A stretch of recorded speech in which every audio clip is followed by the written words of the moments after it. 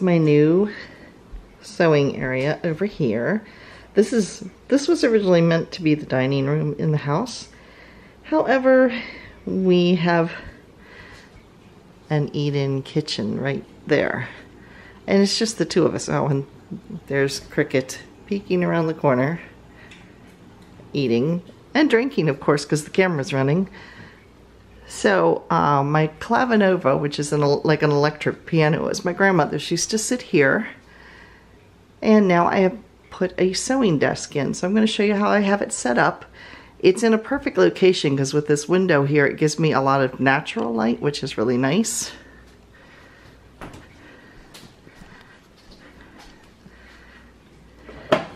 So the chair is one of our dining room chairs. There's another one there.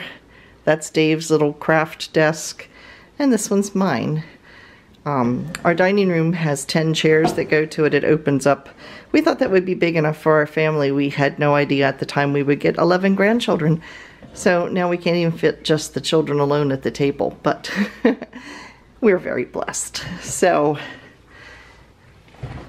here's the table. Now I have this light if I need extra lighting. And there's Cricket drinking out of her bowl. And here's my sewing machine, which is a brother. And the number on it is an XR3774. And it does have an actual plate that goes over the top of this for quilting. I haven't used that. I've had this machine for about a year now. My old one I had for 30 some years and it literally was horrible to work with because it knotted all the time. I think I spent about 160 for this one and so far I like it. I have not done any of these fancy stitches. I just do the standard stitch. So this desk has three drawers. The bottom drawer is meant to be like a filing cabinet drawer, but I don't use it for that. And then over here, it has two shelves and I have two do uh, Dollar Tree baskets that fit on there perfectly. Right now I've got dishcloths that I'm making stored in there. And the top one is empty right now. So let's look at what I have in each of my drawers. The top one here, these are a whole bunch of extra sewing needles and these are these are sewing machine needles. These are actual sewing needles. That It's a little uh, plastic canvas that I made and then I put flannel inside and so my sewing needles are just stuck through that. And then this is sewing machine oil and these are not sucrets. That is, this was in a uh, bundle of my great aunts or great great aunts things. Um, inside here actually keep them like um, embroidery needles the heavier or needlepoint needles. So then I have my pins and my seam ripper and a tape measure and various scissors, you know, like I have some pinking shears in here and some smaller ones. And then I have a Fiskars um, rotary cutter thing. I have not used this yet because I don't have a mat to like cut it on. So yeah, so I have that. And then this here are parts that go to my sewing machine. Um, those are some of the attachments and like the screwdriver and things to open up, um, like to, to um, unscrew where the needle goes and things like that. So these are all sewing machine parts in here. And this is a wooden spool. It's old Coats and Clark. Uh, some of the thread, and I'll show it to you in a few minutes, some of the thread that I have was my grandmother's. And she passed away in the early 2000s. Uh, so she's been gone probably about 15 or 16 years. Um, no, not that quite that long. She's been gone about 12 years. And so um, some of the, the thread and things that I have were hers. And I save these as I run across them, um, as I use the thread off of them, because they stopped making wooden spools in the early 1970s. So um, it's hard to believe, but this is over 40 years old then. So I just save them. I have a, I have a clear vase upstairs that I just toss them into, and one day I'll figure out something to do with them, but I just think they're kind of neat. So, we'll go to drawer number two. I sound like a game show. This down here is just the cover that goes over top of the sewing machine, and I left that off so you could see the sewing machine. So in here, I used to have uh, one of those tool indexes that had a bunch of little drawers in it, and I took the drawers out because it had dividers and things, and this was actually my grandfather's in tool index, and I use it to sort my buttons. So I've got buttons. Some of them are my grandmother's buttons. This is These are different fasteners. Um, some I've bought, most I have not. Most I got from my grandmother, or I took them off of shirts. When I would get rid of a shirt, I would cut the buttons off. So that, in fact, you can see some of the threads still on some of those buttons. So I have buttons here. I have grommets.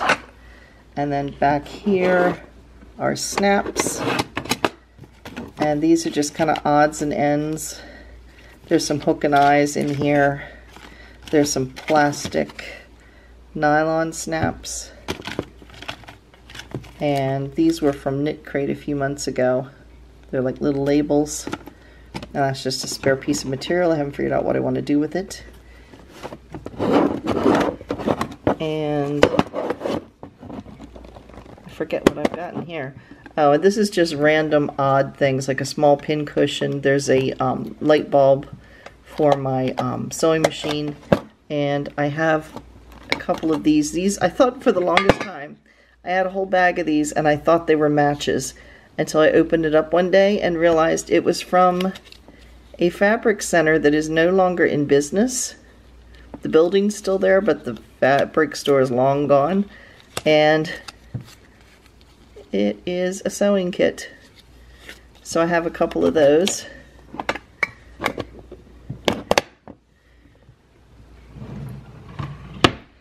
And then drawer number three, I have some of my spools of um, thread here. I have white and black and green. And then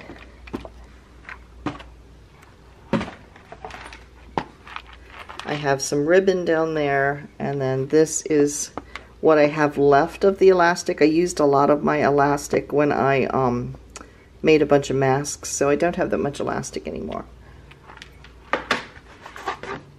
And then this is a box full of zippers. They're zippers that I've either taken off of things uh, before I got rid of them or that I bought um, there's a fabric discount place up in Shippensburg, and I've stopped in there before and gotten um, zippers fairly cheap. So, and what sits in here is what I'll show you next. It's it's the thread that I have.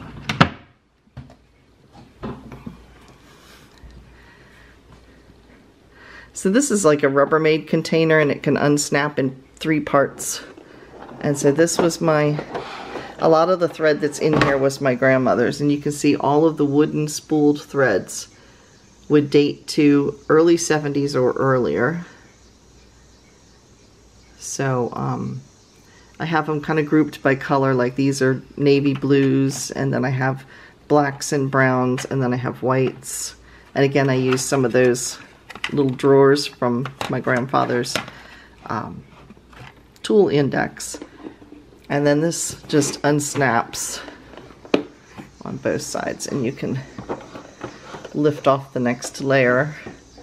And you can tell a lot of this was from the 60s and 70s with all the kind of minty greens and the oranges and the turquoises. But you can see I have a good bit of the uh, wooden spools. And then the last one I have here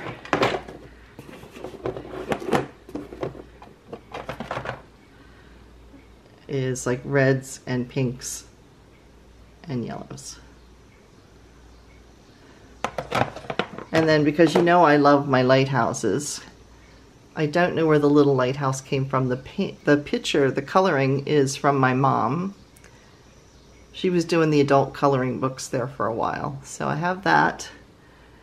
And then right up above it, that is the Portland Headlight in Maine.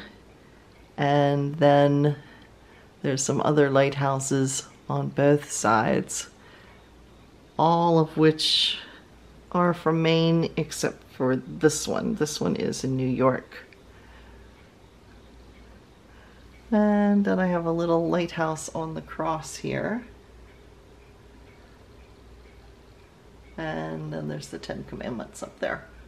So this is my little sewing corner. And I really like it. It's nice and bright. And uh, I didn't show you what these baskets look like. I got, I got these from the Dollar Tree, I believe. I think that's where I got them for, from. I think they were maybe two for a dollar, something like that. So they're about 10 inches by 6 or 7 inches and they fit perfectly underneath on these shelves that are right over here. And that's the foot press for my sewing machine.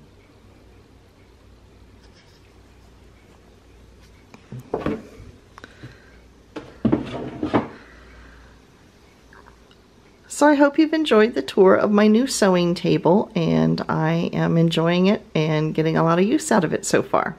Thanks again for watching. If you've enjoyed this, please give me a thumbs up.